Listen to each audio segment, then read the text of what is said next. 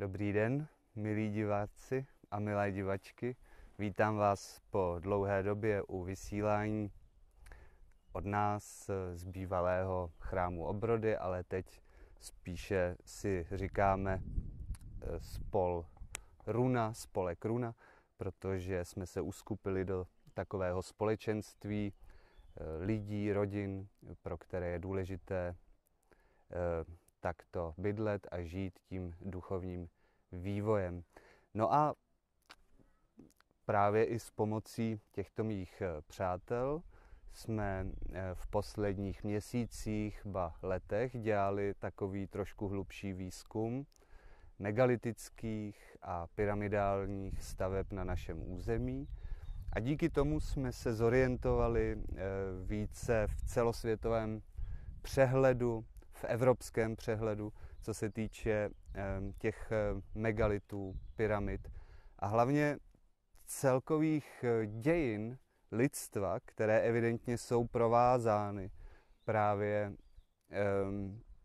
stavbami tohoto typu a technologií tohoto typu, což začínáme chápat eh, až nyní, dejme tomu ve věku moderním, kdy máme hlubší znalosti fyziky, chování elementárních částic a podobně. Takže spatřujeme zde tak zjevné paralely, že zkrátka se před námi vynořuje obrovský objev, objev toho, že lidstvo po tisíce let používalo vlastně pokročilou fyziku. Dá se hovořit údajně o jakési vlnové fyzice, ale o tom všem si povíme eh, v tomto pořadu. Můžeme začít tím, že celá historie lidstva je zřejmě protkána tedy těmito stavbami a e, stavbami tohoto typu, protože ať se podíváme na kterýkoliv kontinent, vidíme zde množství pyramid. V tom je právě skvělá moderní doba internetu, která nám umožnila ty objevy e, nějakým způsobem e, pochopit projít pro každého z nás. Vidíme, že jsou obrovské pyramidy eh, v Číně, že jsou obrovské pyramidy nejenom tedy v Egyptě a v Americe, ale i v Číně, v, eh, v Evropě, například ty známé bosenské teď, ale i všude jinde na světě, ba, ba co objevují se tyto obrovské stavby i pod mořem, eh, a na mnoha dalších nepravděpodobných místech. Je evidentní, že celý svět eh, jel na této technologii a že kdysi, čím se shodujeme s pradávními mýty a těmito eh, záznamy historickými, a vlastně dá se říct i s takovým pocitem té kolektivní paměti toho lidstva, že dřív byl nějaký zlatý věk, nějaký velký zlatý věk. A když zjišťujeme, že zde byla civilizace schopná brousit vrcholy hor a stavět umělé objekty eh, stovky metrů vysoké, takže zřejmě by možná to mohlo být ono. Vidíme, že tyto obrovské stavby jsou zřejmě od určitého historického momentu posunuty.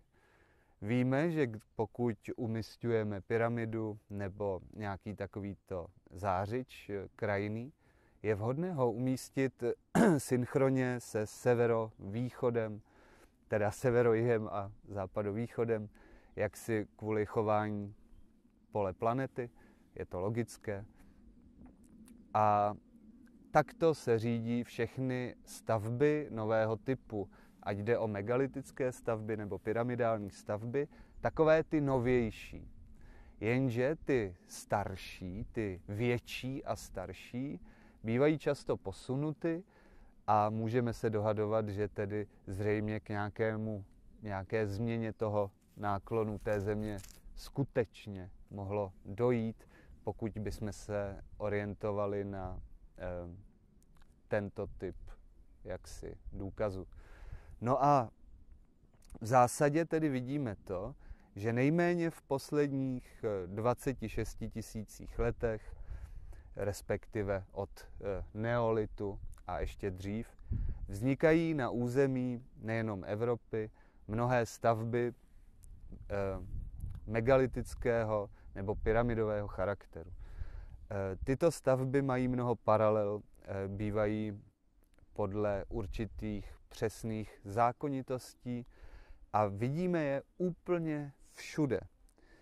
My, když se eh, zaměříme třeba na pátrání eh, jaksi v oficiálnějších dokumentech, eh, na internetu, že jo, tak vidíme, že oficiální doktrína uvádí jakousi megalitickou civilizaci na území jako severo-západu Evropy, která se táhne Anglie, prostě Francie a stále tedy jeho. A vidíme zde opravdu rozsáhlá území, nejenom slavný Stonehenge, ale i množství menhirů třeba v Bretani. E, také jsou zde dokázány a pořádají se turistické výpravy na různé pyramidy, menší, větší. Ono se o tom prostě nemluví. A evidentně zde je před námi prostě významný objev. Oni stále v mainstreamu, nebo alespoň tak, jak je to prezentováno veřejnosti, vědci stále jako nechápou, proč pro boha ty kvádry, tak těžké kvádry, přesunovali naši předci s omezenými prostředky, jestli to jsou nějaké kalendáře. A nedává to úplně smysl. Jenomže nejenom analýzou, ale spíše citem zjistí i běžný člověk, jak si o čem to je.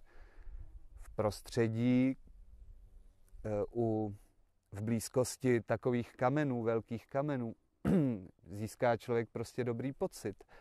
A to vede ještě hlouběji. Dá se říci, že ta síla se nemusí jenom cítit, ale může se i vidět a může se citlivější člověk zorientovat v jakési energetické síti, která utkává veškerou realitu a má svoje takové rezonanční ohniska a ty jsou vlastně, dejme tomu, kdybychom se dívali ve 2D pohledu té plochy, na které chodíme, tak jsou jako rozprostřeny jako taková vřídla na tom povrchu té země a ta vřídla svítí víc, nebo člověk tam cítí víc tepla, víc chvění, podobně, jak kdo je citlivý, že jo.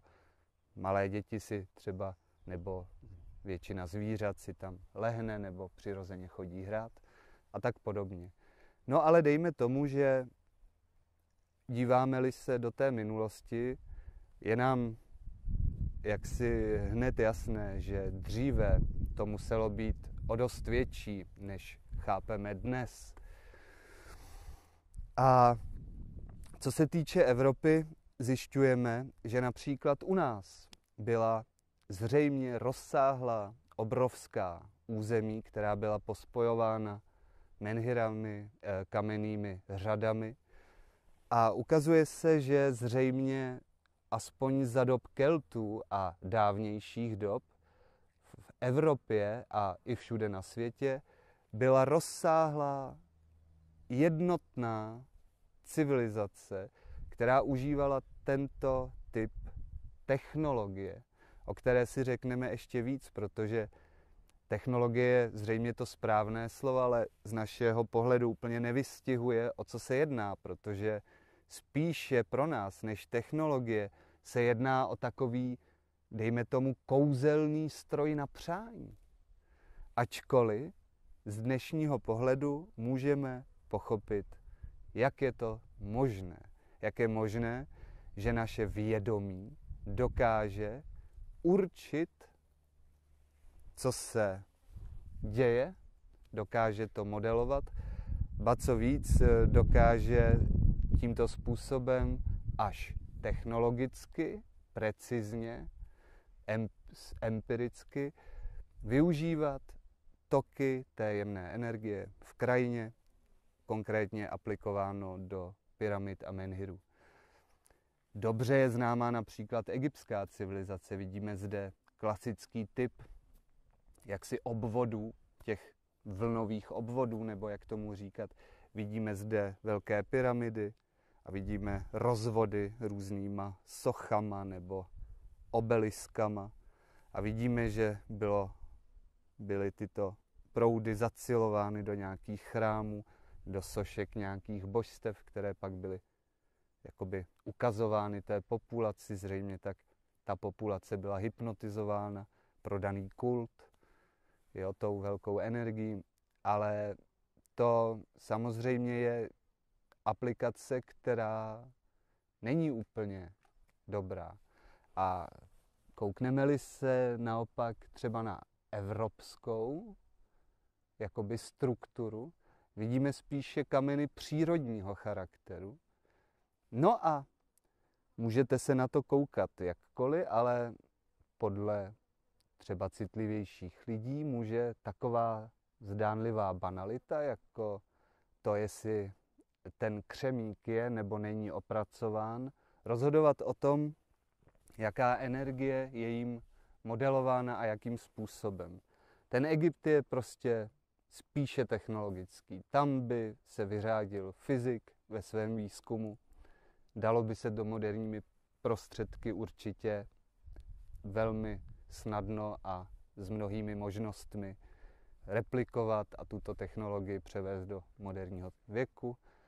Ale asi všichni cítíme možná, že eh, ta evropská tradice takových těch opravdu kamenů, přírodních kamenů a megalitických struktur je nám bližší. Je to přeci jenom přírodnější, přírodnější typ technologie, která eh, je zkrátka i krásná. Hmm. Schrneme-li tedy to poučení z historie, vidíme, že svět je protkán sítí těchto zářičů, sítí krajinných struktur. Můžeme usuzovat, že zde zřejmě byla nějaká hodně dávná civilizace, pakliže bychom respektovali ten precizní cyklus vždy po těch 25 tisících, respektive 12 jako polovině tisících let, tak vidíme zde určité paralely. Mnoho vědců udává tu dataci například nějakých těch modernějších pyramid na 12 tisíc let, nebo co se týče různých pravěkých jakoby mohyl nebo datací menhirů. Jedná se o těch 26 tisíc let, což je jakoby 24, že jo, 25. Je to ta doba a zřejmě právě před touto dobou, před tím jedním celým cyklem, těmi 25 tisíci lety, nejdříve zde byla ta civilizace, která používala ty velké, velké technologie, ubrušovala hory. Vidíme na našem území množství památek, dá se říct, technologických, jako kdyby třeba nějaká civilizace v budoucnu našla torza našich jaderných elektráren nebo přehrad, něco podobného. Ale dá se říct, že můžeme svými ekonomickými prostředky i my jako jednotlivci v tomto pohledu pomoci. Schrneme-li eh, to, že celá Evropa je takto protkána sítí megalitických struktur i pyramid a konkretizujeme se na naše území, území České republiky, uvidíme zde také několik areálů, které eh, zřejmě bývaly v minulosti spíše určitě nejzřejmě propojené. A to nejenom jaksi v těch širších lokacích, ale možná i na mnohých, mnohem širším území, než si dnes dokážeme představit. Uvědomme si, že to, co zbylo do dnešních časů, je naprosté torzo toho, co zde bývalo. Jako příklad si můžeme uvést například ty známé kounovské kamenné řady. Co spatřujeme na těch kounovských řadách? Několik věcí. Za prvé to, že eh, byly dělány ze stejné horniny. Za druhé to, že je zde i uvedeno, takže je to vypátráno i jaksi historicky, že právě zde stával středový menhir a tento menhir byl vyvrácen a nejméně ještě několik dalších kamenů jaksi zmizelo. A když tedy se budeme bavit konkrétně i o této zóně, protože v této zóně se dnes taktéž nacházíme, vysíláme z ní, tu zónu můžeme lokalizovat tedy nejenom kolem Kounova, ale i do Nečemic. A dá se říct, že i oblast Panenského Týnce spadá pod tuto oblast. Samozřejmě známe klobuky, také poslední z menhirů, nejvyšší ve střední Evropě, který se dochoval, který byl dříve obklopen opět dalšími kameny. A odkrývá se zde tedy paleta jaksi užité technologie, jejího torza, které můžeme ale jakýmsi reverzním přístupem a taktéž tou přeci jenom hlubší citlivostí dnes pochopit. A vidíme zde technologii, vědomí, technologii, která jaksi e, nemá žádný, žádný interface, nemá žádné rozhraní.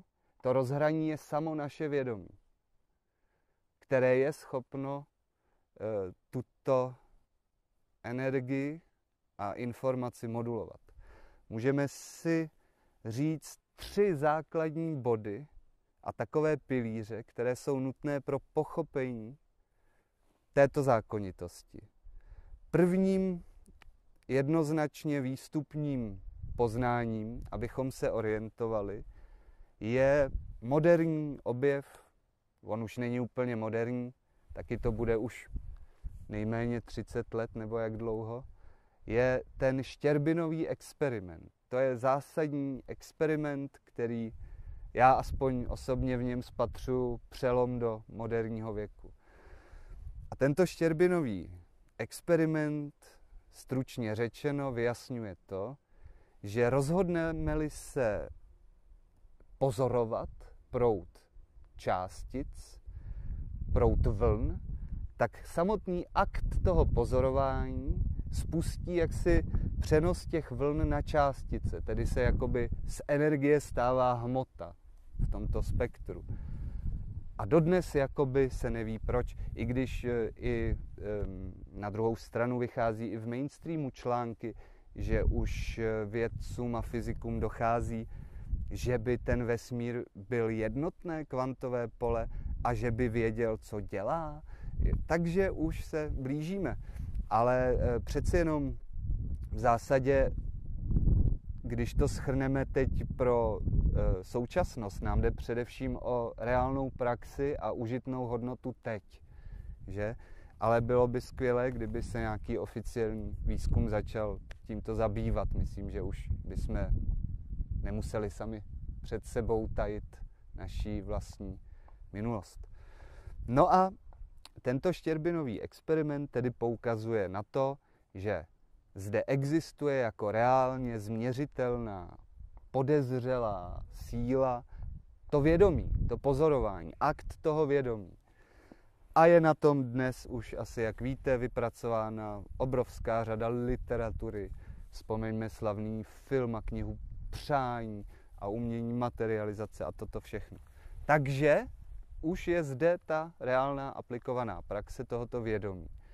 Tedy když se posuneme od toho jednoduchého štěrbinového experimentu a logickou dedukcí se dostaneme k tomu, že pokud je tvrzeno tisíce let, že existují struktury v přírodě nebo umělé dotvořené struktury, které mají víc nějaké energie, tak co kdyby to náhodou byla taky energie, které můžeme udat směr, udat jí záměrem našího, našeho vědomí směr jejího uplatnění a co když ta energie to opravdu dělá. A skutečně přibývá lidí, kteří si toto myslí, a ba co víc, kteří to cítí nebo dokonce vidí. A proto umistují eh, opět tyto struktury tam, kde mohou. A tak, jak to dovolí jejich ekonomická situace. Takže moderní kvantová fyzika, experimentální, skutečně praktická, dejme tomu, může být výchozím poznáním, výchozím eh, principem. Druhá věc, druhý pilíř pochopení je křemík. Možná si vzpomínáte na to známé rčení, že nejenom uhlík by mohl být zdrojem života, ale i křemík je také čtyřvazný a podobně. Nicméně ten křemík se chová trochu jinak. Ten křemík zřejmě interaguje svojí samou podstatou a podstatou toho, že je v jakési geometrické mřížce v prostoru, tak tím chvěním, tou rezonancí zřejmě dokáže nějakým způsobem zachycovat nebo používat tu energii, která je jaksi všudy přítomná, teče prostorem. A jak se ukazuje, ale lze se domnívat, tak ta vřídla na té síti, všudy přítomné té energie, jsou zřejmě tedy přirozená vřídla této jakési všudy přítomné energie. Kdy zkušenosti mnoha lidí se shodují, že tato energie skutečně tedy existuje, je vnímatelná a existuje zde množství technik, jak se s touto energií naučit pracovat, jak ji vnímat. O tom si řekneme ještě v další části pořadu.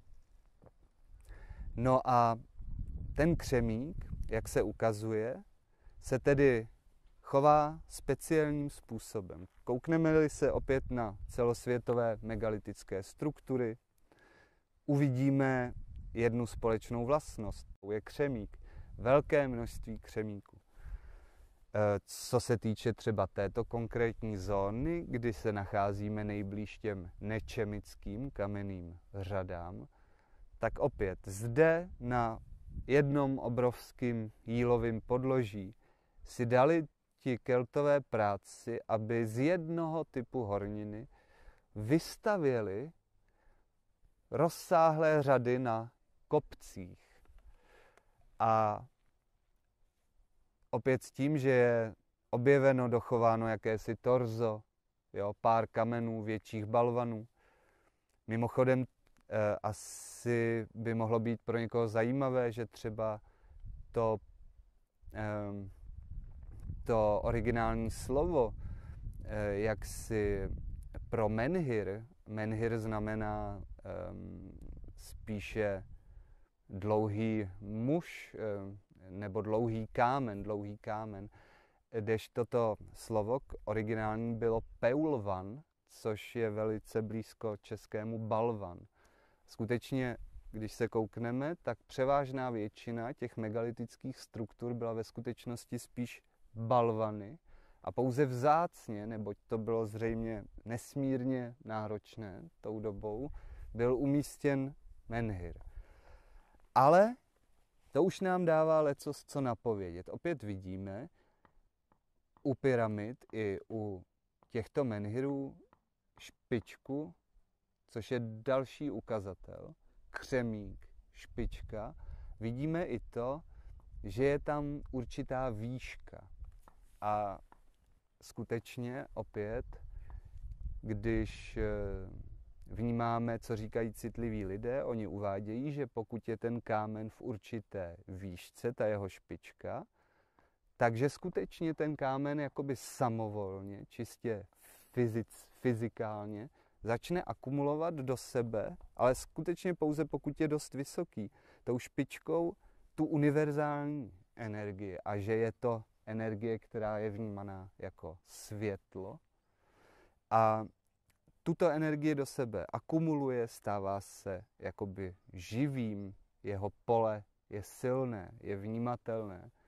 A pak, nebo již v průběhu toho procesu, ale pak e, o to víc, vyzařuje tu energii a je schopen ji používat pro množství záměrů. Jde o to, že ten křemík zřejmě nějakou technologií, kterou ne úplně ještě chápeme, je jaksi skrz princip rezonance, ta jeho krystalická mřížka, rozvibrovatelný takovým způsobem, že generuje víc této energie nebo ji přitahuje. A vidíme to ve všech pyramidových strukturách. Vidíme, že často byly ty struktury protkány sítí vody. Jo, Vzpomeňte na to dávné potrubí v těch skalách umělých, jak nikdo neví, proč tam pro Boha bylo. Síť potrubí kolem jednoho prostoru. No a, a další, další věci, které jsou jako pro eh, běžné chápání nevysvětlitelné, ale pokud chápeme tok té energie, její chování, tak eh, se nám to vynořuje jako jedna globální znalost celého lidstva. No a ten křemík eh, je tedy schopen tohoto jevu. A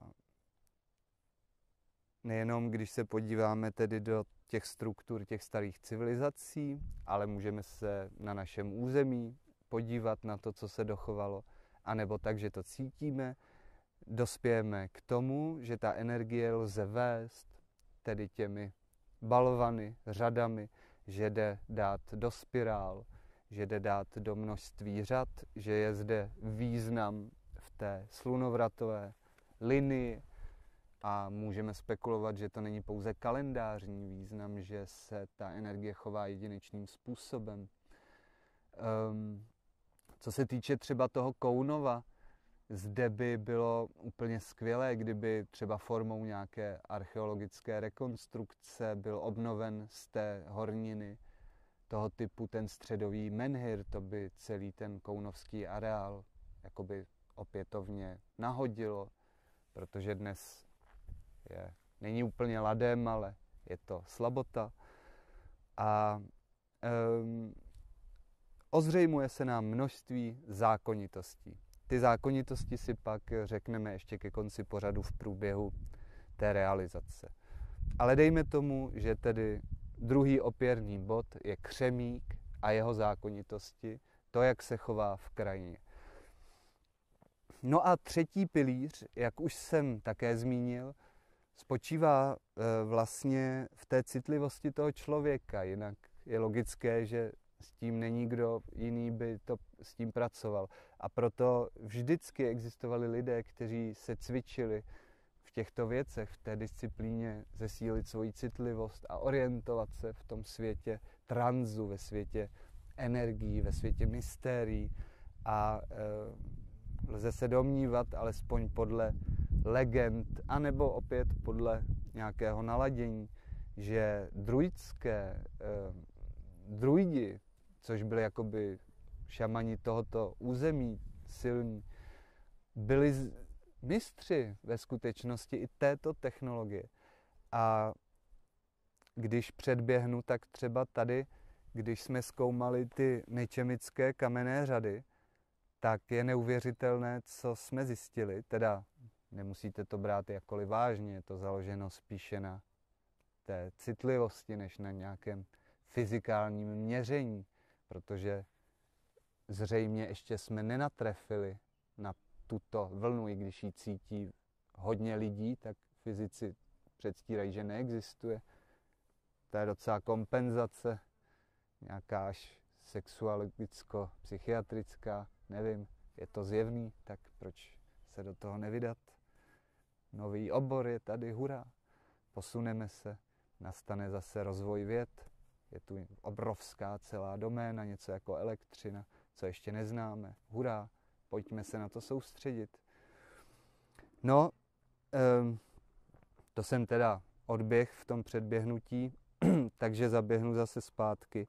A ty nečemické kamenné řady nám ukázaly, že třeba je pás kopců a v tom pásu kopců, třeba podle místních legend, byl spatřován ohnivý had, který takhle dělal ten ohnivý had.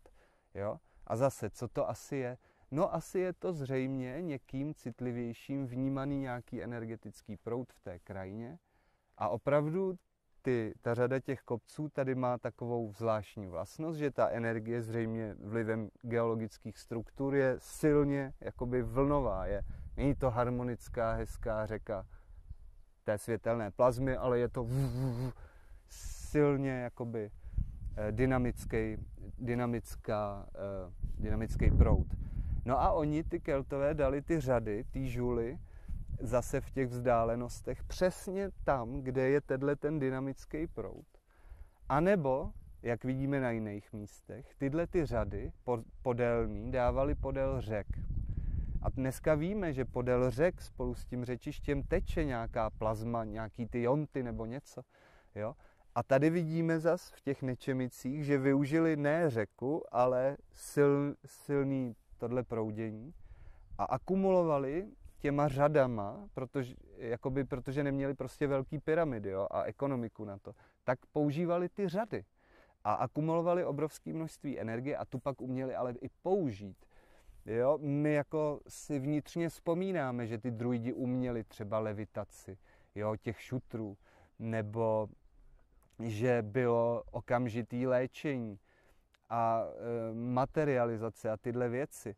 A já se domnívám, že právě oni v tom pozdějším věku, když už třeba nemohli být schopní tak dalece se vyvinout, aby svými vlastními energetickými silami dělali takhle velké věci, tak používali právě ten hardware. Používali ty pyramidy, používali ty řady kamenný a koncentrovali tu energii tak umně, že dokázali pak e, tyto fenomény. Jo? Což z našeho pohledu je určitě primární, nebo pro mnoha lidí by mohlo být hodně důležitý to uzdravení že jo, toho těla, jako by mít energii pro to tělo. A pro mnoho z nás je to důležitý i v dalších směrech. Um, to je to, že když se zase klidně skrz analýzu dočteme nebo dozvíme to, na čem se v těch různých tradicích ti lidé shodují napříč stovky a tisíce let, uvidíme stejné věci. Uvidíme třeba i to, že obrovský význam eh, měla vnitřní rezonance, jakási rezonance nějakých energetických polí, čaker nebo energetických center. A že dokonce je zde taková jaksi právě už proskoušená, takže ne domněnka, ale spíš stále více, více se potvrzující znalost, že ve skutečnosti ta kvantová fyzika ne, že bychom nesměle mohli připustit, že by ten štěrbinový experiment byla pravda, ale že to je daleko teda hustší. A že ve skutečnosti náš vnitřní psychologický, tedy informační stav zřejmě skutečně manifestuje náš život. Ve všech těchto podobách a že ten energetický systém je jakási technologie čoček, kterou se ta jedna božská energie manifestuje do nejrůznějších aspektů našeho života od A do Z. Od těch sakrálně, tělesně, hmotně, jakoby peněžně pracovních, sexuálních věcí, přes lásku a schopnost se vyléčit nebo někoho léčit, až po ještě daleko vyšší a hlubší zážitky toho vědomí, toho jednoho božského zdroje. A tímto způsobem my spojením těchto znalostí a taktéž právě výhodou té moderní doby, i ekonomicky stále ještě, můžeme vytvořit poprvé po hodně dlouhé době, nejméně po tisících letech, opět tu megalitickou civilizaci. A začněme, vážení přátelé, na našem území, protože tady máme skvělý začátek a můžeme to eh, hodně, hodně v budoucnosti zúročit. Abych se vrátil na to naše území, tak je zajímavé, že tedy, když vnímáme tuto lounskou zónu jako jednu celou zónu, která zřejmě bývala celá zasíťovaná, celá propojená, zbylo z ní tedy torzo. Vidíme pak ještě nějaké zóny u nás, eh, například eh, kolem Znojma, kde jsme teď nedávno měli seminář, se opět ukazuje, že nejenom, že zde byla ta pradávná, ta velká civilizace, která dělala ty velké pyramidy, jako třeba na Karlštejně, kde dodnes ten sloupec funguje v té kapli toho svatého kříže, je ten průsečík těch toků, je to geniální mechanismus, tak i v tom znojmě zřejmě ta síť sahala i do Rakouska, na ten Heiligestein, jo, a na tu Pálavu. Prostě kdo ví, jestli to nebylo zasíťované úplně celé, to území Evropy. Bylo by to teda neuvěřitelné. A zřejmě možná ano. A kolik aplikací se vynořuje, jo, kam až to sahá ta věda. Um, třeba hodně lidí se domnívá, že Blaník je stavba umělá. Skutečně umělá, že to není jako, jako to, že si sednu a představím si to, ale že se to ukazuje už množstvím případů, množstvím svědectví lidí, kteří to nechtějí vědět. Jakoby. A tak dál.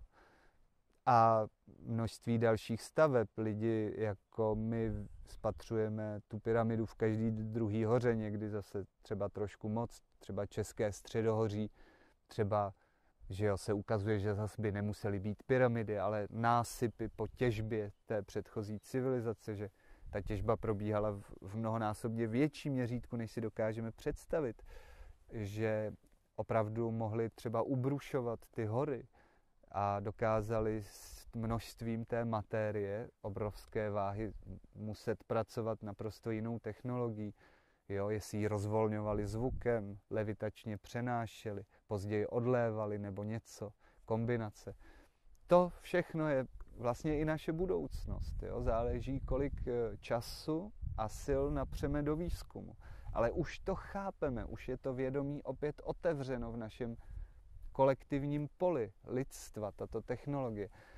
A můžeme začít tím, že zrealizujeme jeden menhir na svý zahradě, nebo kruh, nebo větší kruh, a nebo jsme milionáři a zrealizujeme celou menší nějakou strukturu, i třeba s řadou, s dolmenem a podobně.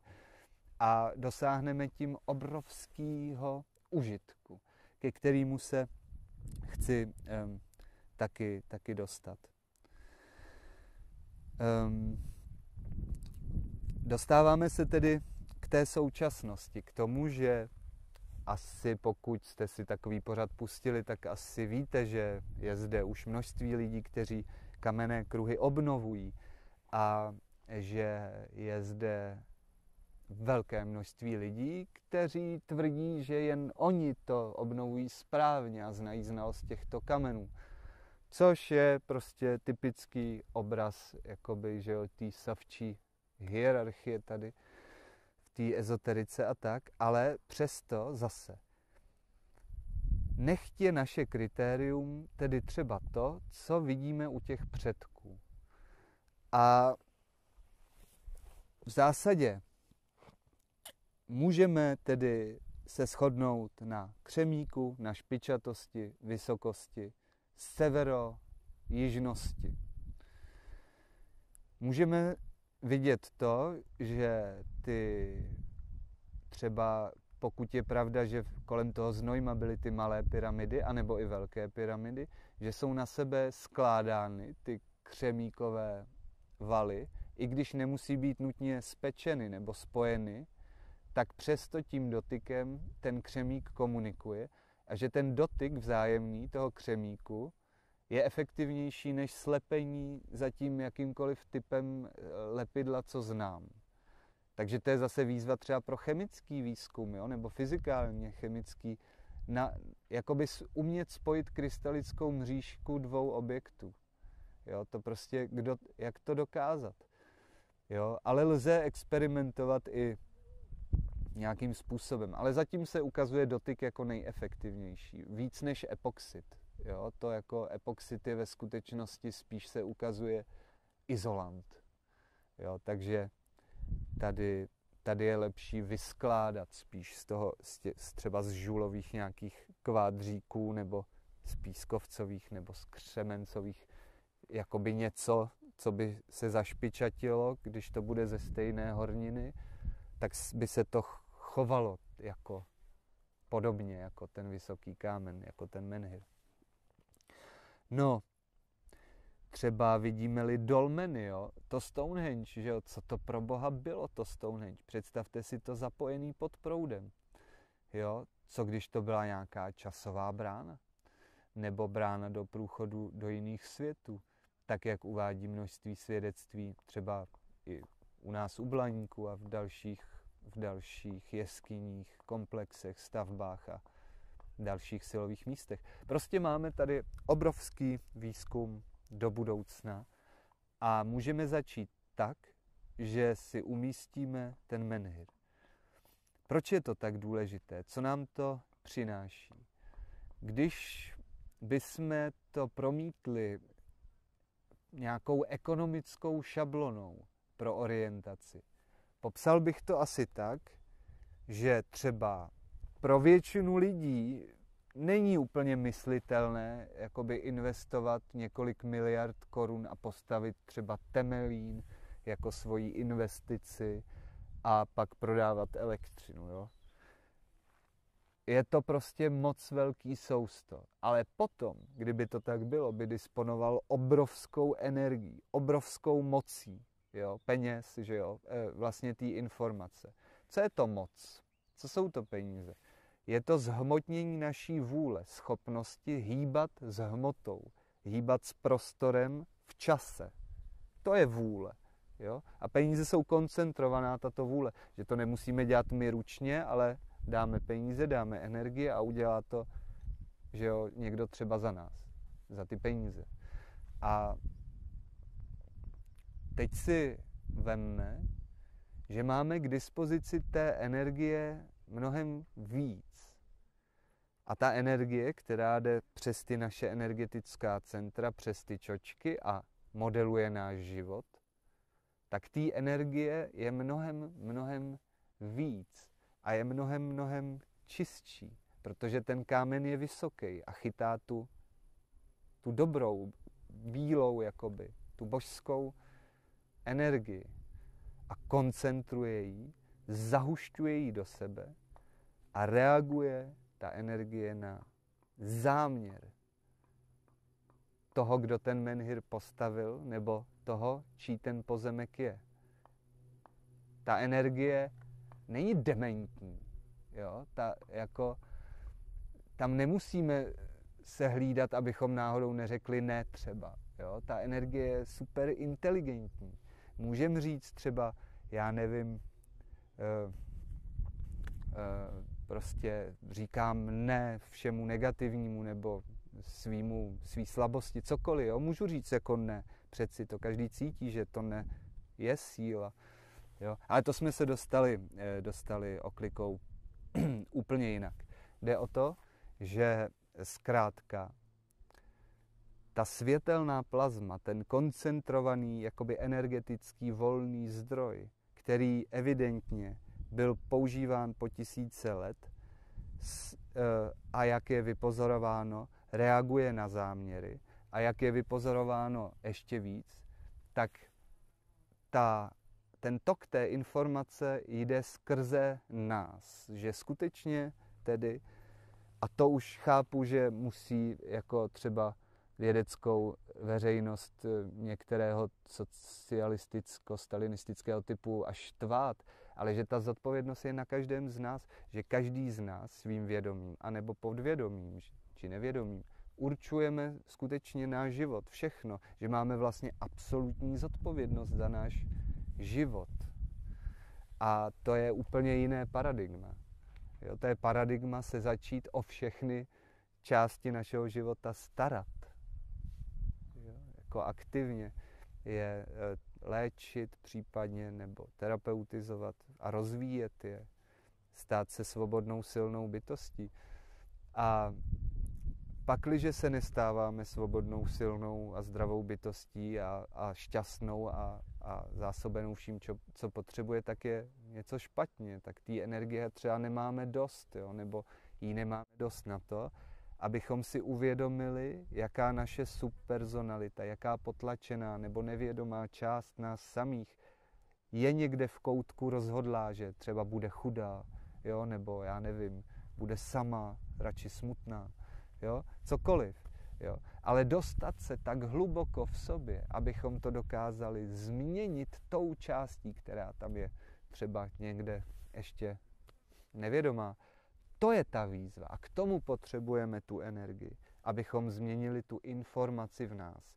A, jak tedy ta potvrzená teorie praví, energetickou změnou v nás okamžitě zrcadlíme velice rychle, manifestujeme změnu ve vnější, jakoby vnější oblasti, protože co je to vnější oblast? Jo? To je vlastně zase jen nějak jako soubor, soubor informací, které jsou vedený do středu našeho vědomí našimi senzory hmotnými, nebo zavřeme oči a nehmotnými.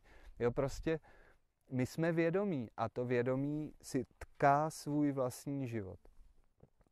A teď jsme ve hmotě vědomí a tady je jedinečný úkaz, že si sami na sebe vlastně vytváříme tuto mocnou iluzi, kde je hmota pevná.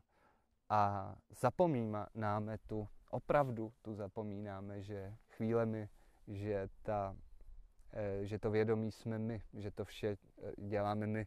Teď si na to vzpomínáme, že? A k tomu je potřeba všemu mít hodně energie. My jsme eh, v posledních dvou měsících realizovali tři menhirové kruhy, včetně tohoto našeho kruhu, který je z Kozárovické žuly, protože žula je prostě, tam je ten křemík hodně nahuštěn. A pro mě je to jako život před kruhem a po kruhu.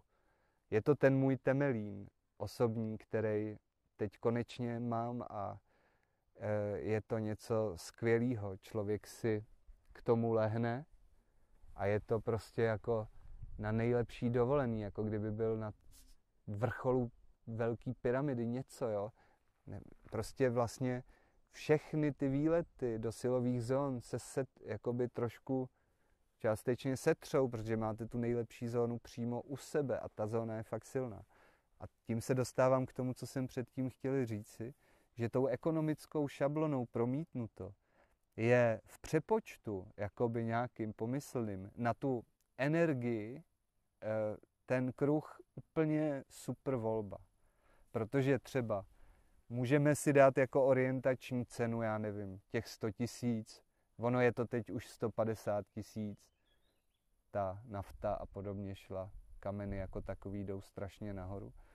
Ale dejme tomu třeba 100-150 tisíc co za těch 100-150 tisíc si můžete koupit, aby vám to významně ulehčilo skutečně tento jakoby vnitřní informační svět. Nemyslím, že si koupíte, já nevím, no, za těch 150 si toho zas moc nekoupíte, jo, výřivku a, a sauničku, já nevím, něco, jo, prostě. Ale z hlediska eh, té energetiky třeba co? Nějakou velkou drůzu nebo pár velkých drůz ametistových, jo, nebo nějaký zářič, dražší, podobně, jo, a nebo budete mít menhirový kruh, který prostě je trošku nesrovnatelný, jakoby s jakýmkoliv malým zářítkem, jo, s čímkoliv, je to, je to úplně jiná liga. Já třeba nejsem úplně příznivcem, jak je moderní dneska říkat těm malým kamínku menhiry. To nejsou jako menhiry, jo? nebo prostě menhiry je, jsou špičatý, vysoký kameny. Jo? Když už máme toto názvosloví. Jo? Protože my pod pojmem balvan spíš chápeme ten kulatý balvan.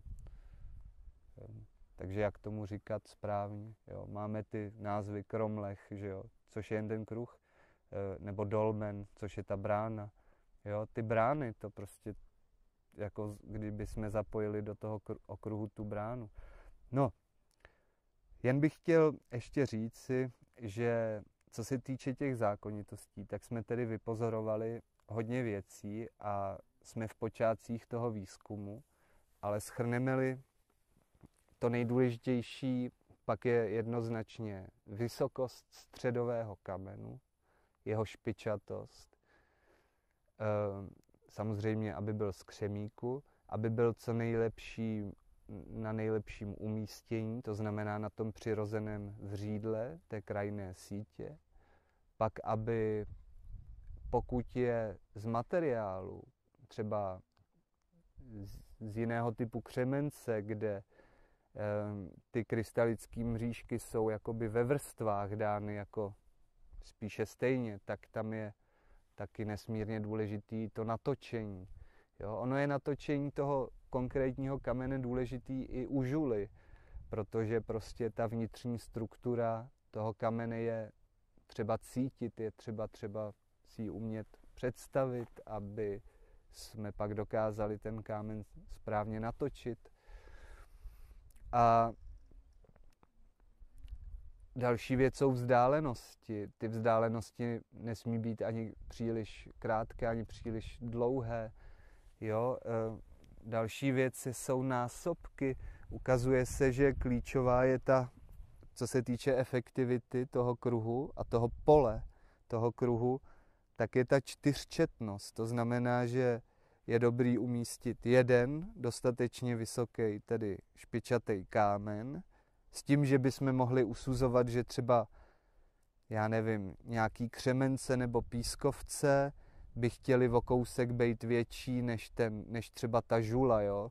ale dejme tomu, že ideální by byly aspoň ty dva metry nebo vejš a tím vytváříme tedy pole jednoho kamene. A zjišťujeme, že pakliže pokládáme třeba již i menší jako kameny ideálně obdobného tvaru do určitých vzdáleností, tak to pole toho kamene se jakoby roztáhne, vzniká širší klenba rotující. A i ty menší kameny ožijou, jako kdyby byly taky vysoký sami od sebe a měli tu špičku tak nahoře. Mě by třeba hrozně zajímalo, proč je to tak důležitý, že nad tím metrem a půl se začne spontánně jako akumulovat v té špičce ta energie, jestli je to nějaká vzdálenost od, od toho kondenzátoru té země nebo něco. Nevím.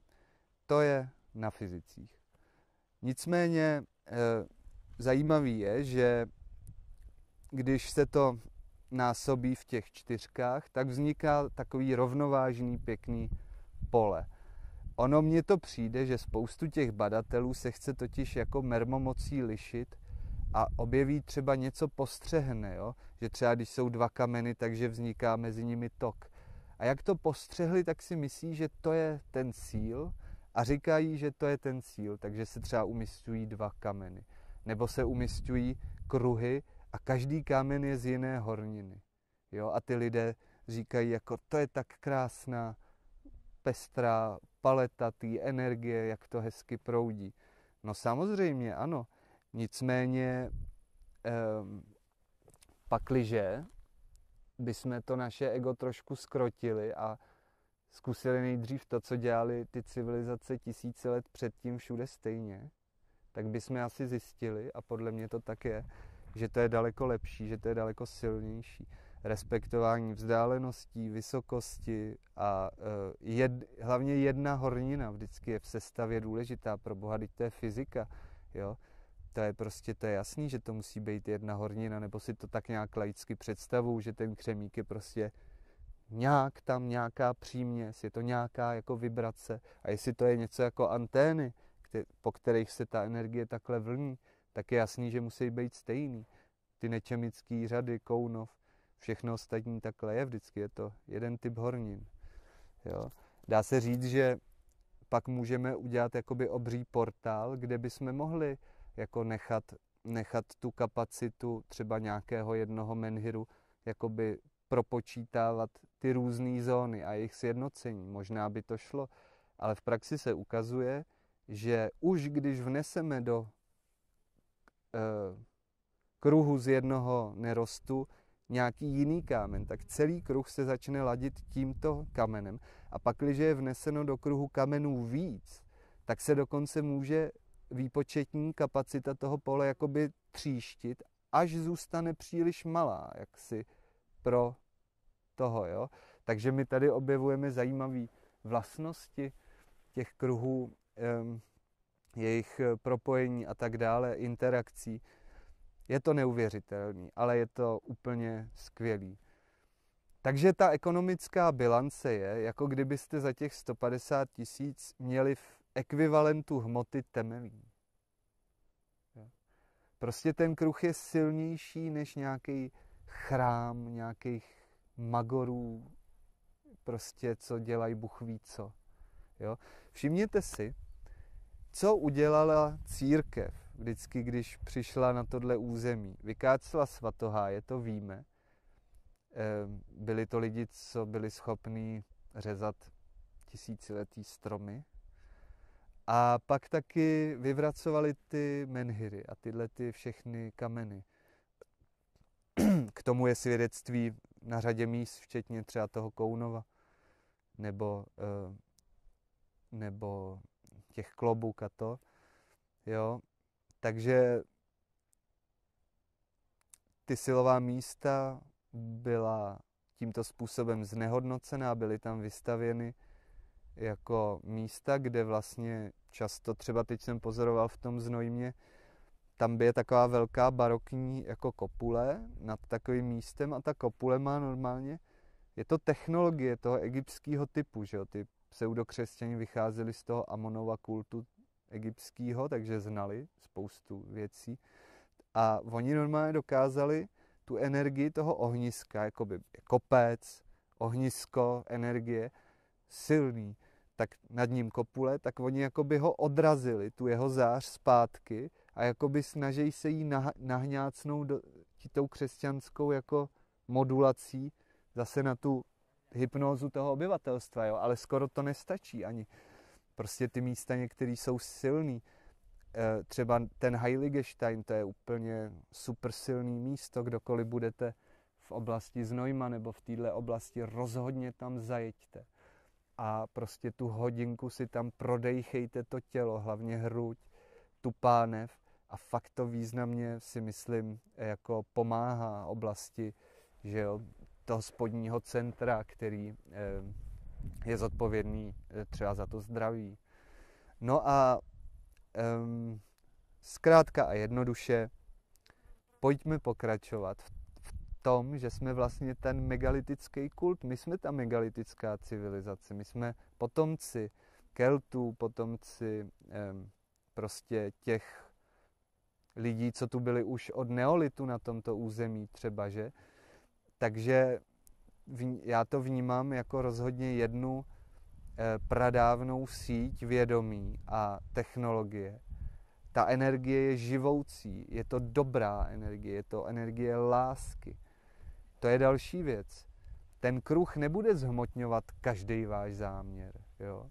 ale jenom takovej, který rezonuje prostě s tou božskou energií.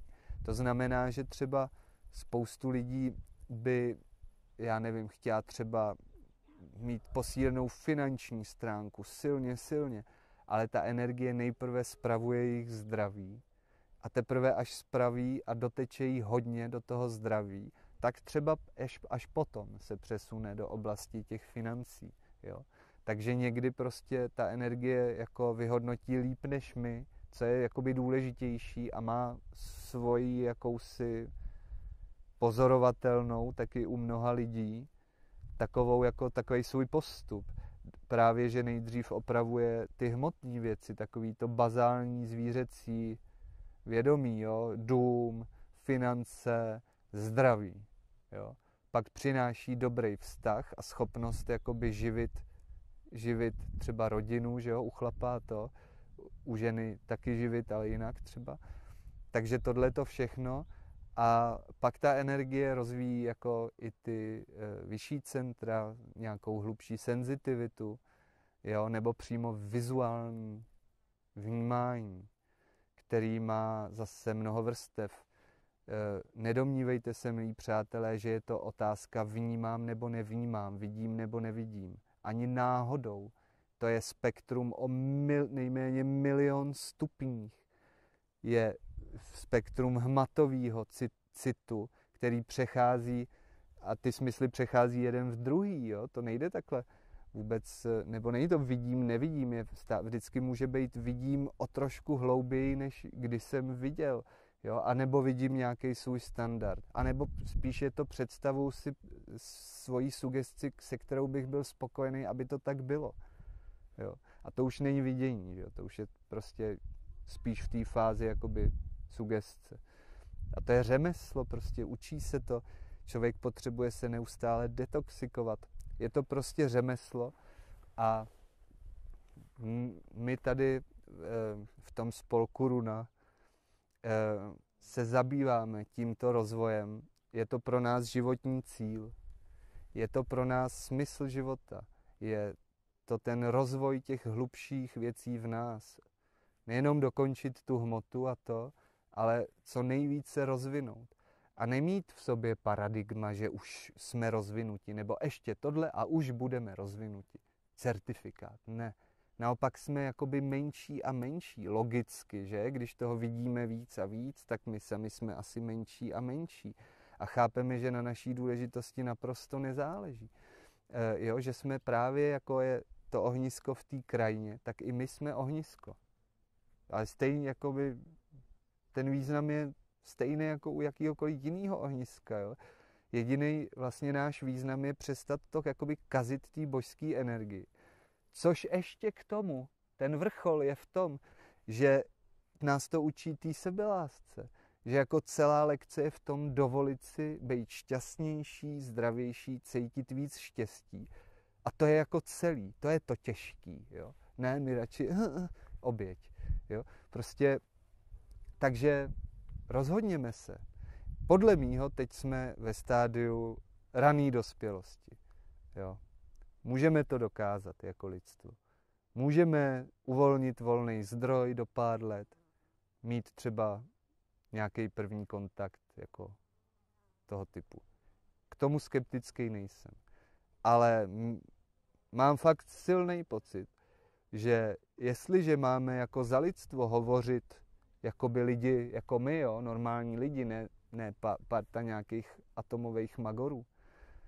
Takže ale potřeba, aby jsme teda jako hovořili, jo, a ne s plejáďanama. Prostě nemůžeme hovořit do egregorů tajných služeb v nízkém astrálu. To je trošku, jo, jako by to tam pak ta bytost nějakého třeba, co by chtěl spolupracovat, nějaká skutečná, tak jako taktně mlčí, čeká, jo.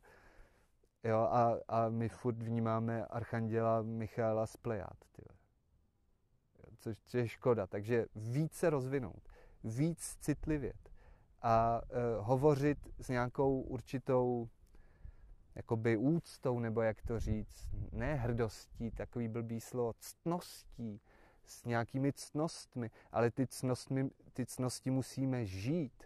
Ne o nich přemýšlet, ale opravdu je žít a pak možná, je to jen teorie opět, je ten pocit, bychom mohli mít jako třeba jako větší slovo.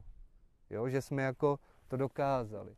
A když přestoupíme do toho nového paradigmatu a přeskupíme třeba ekonomiku na to, že si budeme věci darovávat. Chápete, co by to bylo? To by byla naprostá prostě revoluce hojnosti. Takže kdo máte peníze, darujte někomu menhir, darujte někomu kruh, darujte někomu fakt hodně, hodně energie. A to je moje hlavní poselství tohoto pořadu. Stavte menhirový kruhy a pokud eh, je nechcete stavět, tak to svěřte nám. V posledních dvou letech jsme to know-how rozpracovávali a hodně moc věcí jsme se v tom naučili. Jsme sehraný, dokážeme to dělat na, v Čechách, na Moravě i na Slovensku.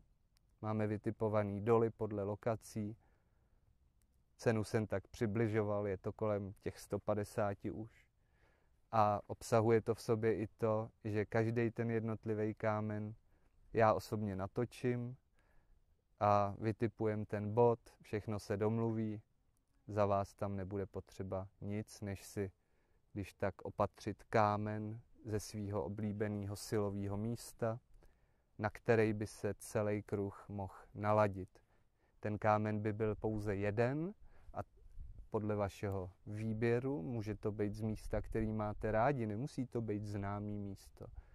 To místo poznáte daleko líp, než třeba si kolikrát myslíte. Každý pozná místo, kde mu je dobře, někde v lese, na skále. A to je silový místo. Pravděpodobně 99,9% ano, je to to vřídlo, je to to silový místo. Tam někde je. Takže si můžete v tomto ohledu věřit. Jo? Ale pak, když chcete to svěřit profíkům, můžete si nás objednat. A my vám to zajistíme dobře.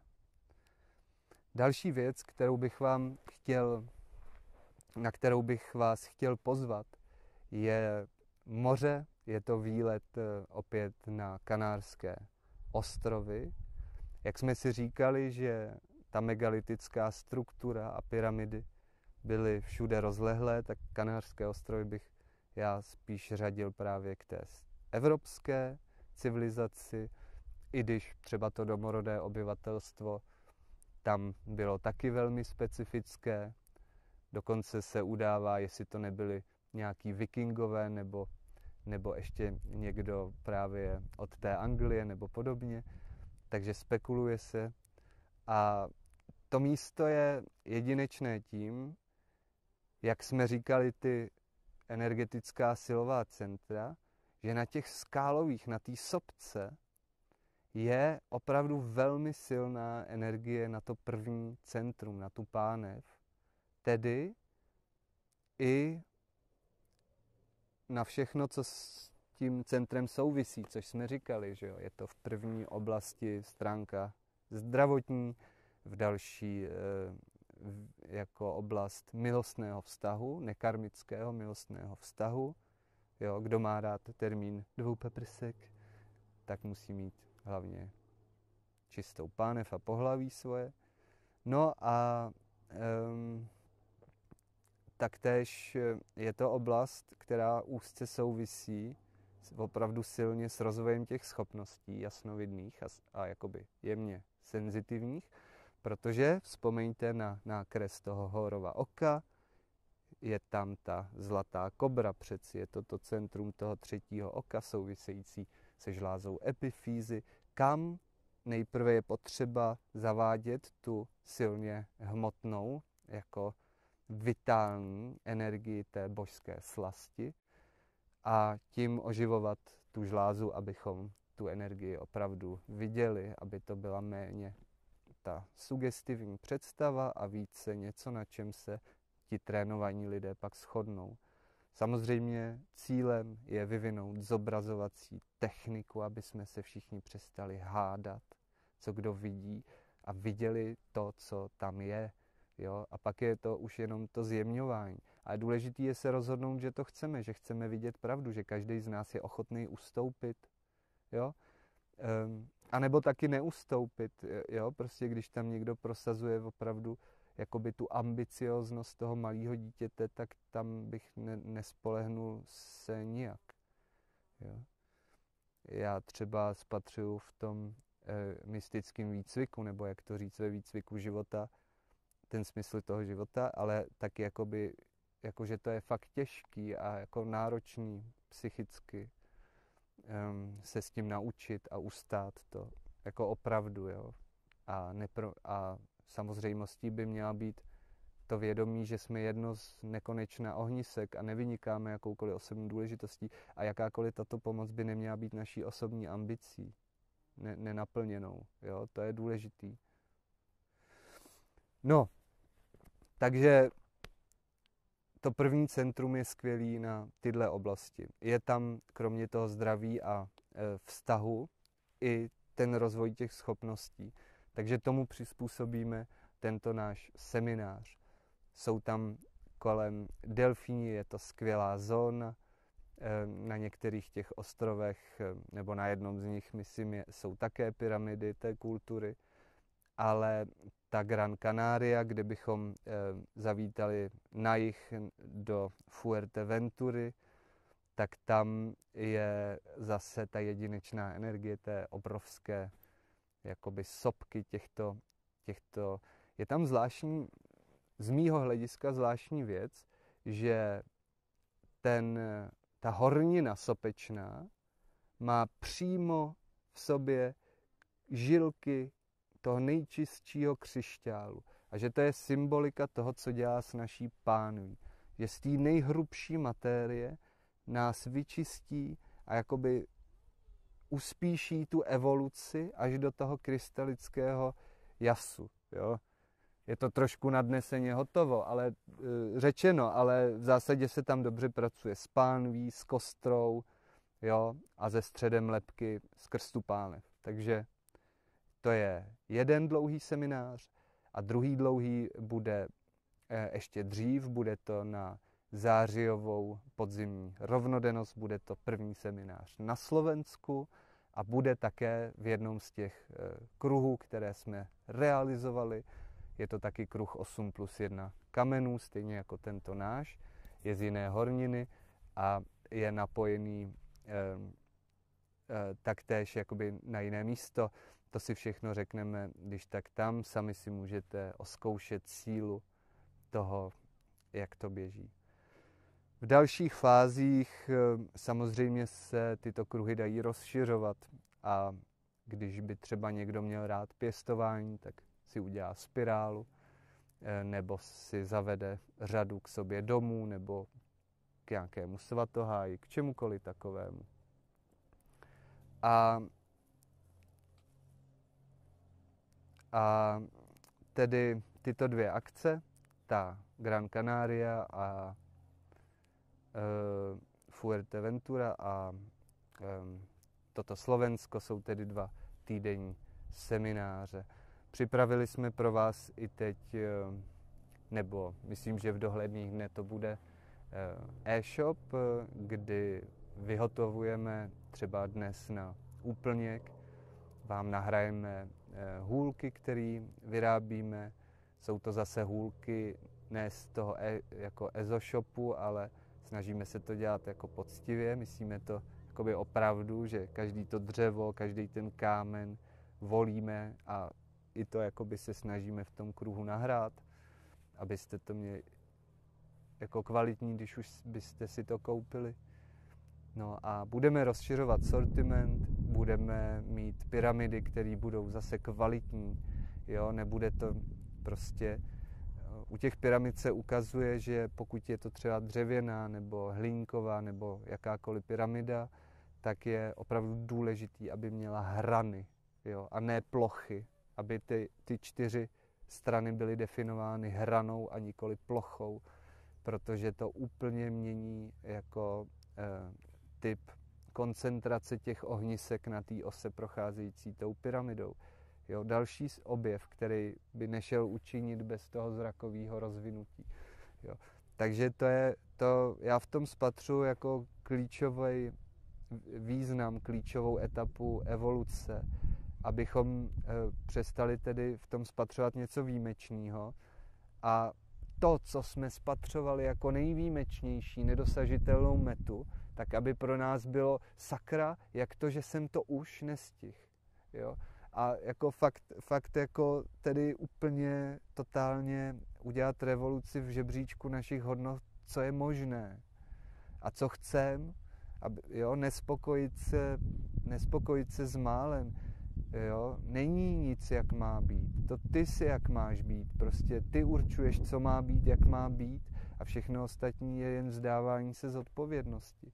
Samozřejmě z toho opačného pohledu, že?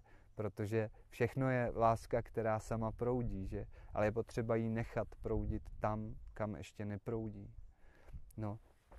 Takže si myslím, že tohle jsou ty hlavní sdělení, že navazujeme na evropskou globální civilizaci lásky, civilizaci vědomí, která potom upadla, ale že vede k tomu zlatému věku a že používala tento typ technologie, který asi reaguje na náš záměr a zušlechťuje v oblasti našeho života podle toho, který si přejeme, podle těch center. Jo?